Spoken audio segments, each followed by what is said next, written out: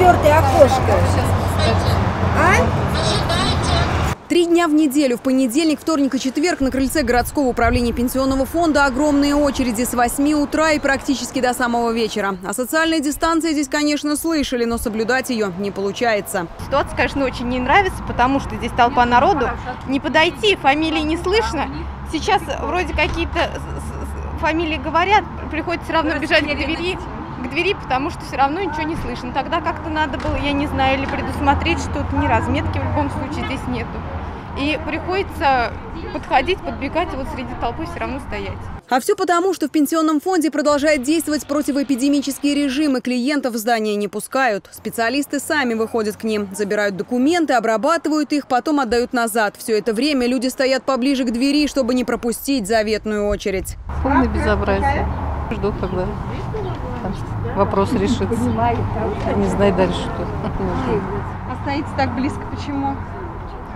Чтобы услышать фамилию, когда вызовут. Мы стремимся к тому, чтобы не допустить массового возражения людей. Прием у нас ведется в рамках предварительной записи.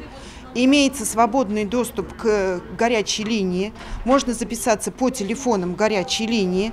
Также можно записаться через личный кабинет пенсионера, который находится на сайте пенсионного фонда и не требует регистрации.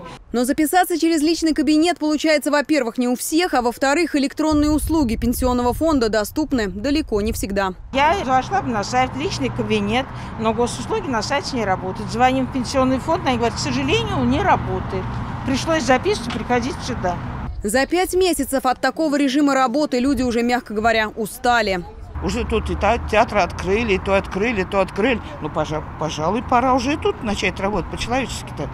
Ну, к нам, к пенсионерам относиться пора уже по-человечески. Отделение на Батевградской в дни приема обслуживает вот так. На крыльце не меньше 300 человек. Одновременно работают 20 специалистов клиентской службы. Приступают к своим обязанностям они на полчаса раньше начала рабочего времени. Весь день, каждые 10 минут бегают от своего кабинета к выходу и обратно. Но людей на крыльце меньше не становится. Мое мнение такое, что пенсионные очень хорошо все организовано. Вот номера горячей линии. Предварительно запишись, приди вовремя, и все тебя обслужат. У меня вот запись по телефону была на 10.30. Я пришла в 10.15. Меня уже взяли документы в работу, и все, я жду результата.